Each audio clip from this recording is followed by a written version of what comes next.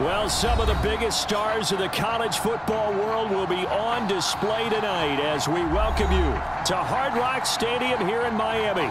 Tonight we play for the College Football Playoffs National Championship as it'll be the Clemson Tigers taking on the USC Trojans.